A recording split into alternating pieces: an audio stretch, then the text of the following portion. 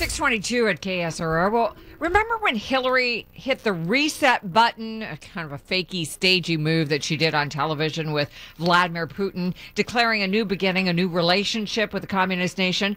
She also promised to create a Russian Silicon Valley that may have opened the door to the Russian spies believed to be responsible by uh, some for hacking her email. Ironic, right? Joining us on the KSRO Live line is America Rising PAC Communications Director Jeff Bechdel. Good morning, Jeff. Good morning. Thanks for having me. Oh my man, uh, you know every day there's something new about the emails, you know. And I have some people are saying it's the Russians who did it. Some people say that it may have been an inside job and the guy who was going to to talk about it went to the FBI but was gunned down in the streets. What do you, who do you think is more credible as a an actor in this email scandal?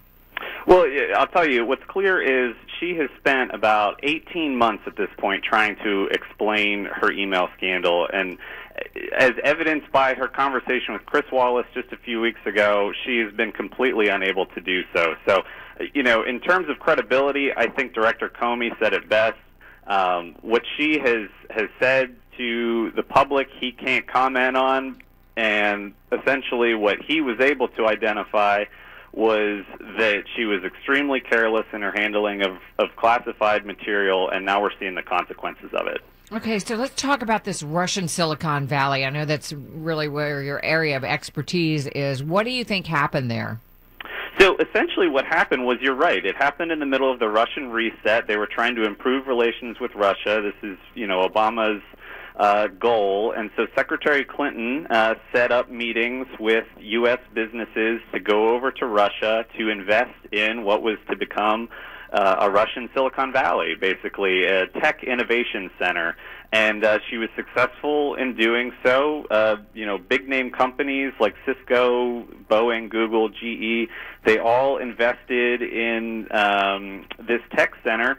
And ultimately, what we learned is a few years later, the FBI issued a warning saying, hey, uh, the Russians are using this technology and weaponizing it to improve their military, thus putting Americans uh, at risk and, and threatening national security. So it's just another example of Secretary Clinton's poor judgment and uh, you know her inability to discern uh, friend from foe. Jeff, what supposedly went south then? If uh, you're going to essentially establish business ties with these companies, and you, you hope that with business comes stability in terms of your relations with with a with a, let's face it, a country that you don't have very good relations with, with Russia. But what do you suppose went south? Well, that's the risk. Exactly what you said is is you know they were trying to improve relations with a country that really had no interest in in doing so. Um, I think you know she invited, and she brags about this in her book Hard Choices, that she was able to get then President Dmitry Medvedev to come over to Silicon Valley and and learn about how uh, American tech innovation happens. And he took that back, and his goal all along, I'm sure, was to increase, uh, you know, Russia's uh, weaponized tech sector.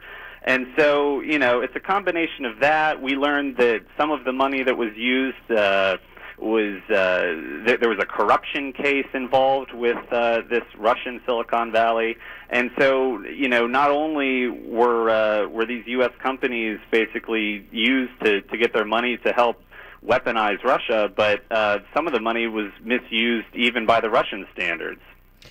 You seem to see a pattern with Mrs. Clinton's foreign policy. She, uh, you know, she tries to entice them with with trade and with all the goodies. And when she was Secretary of State, and when that doesn't work, she bombs the crap out of them, like with Syria and Libya. Yeah, no, that you're absolutely right, and she has a long record, and we talk about this a lot at AmericaRisingPAC.org. That um, you know, basically every foreign policy decision that came across her desk as secretary, uh, she failed. Her, her judgment was lacking, and as a result, American interests and safety was put at risk. Whether it's Libya, Syria, she called uh, or referred to um, the the president there as a reformer, and uh, you know he's obviously anything but.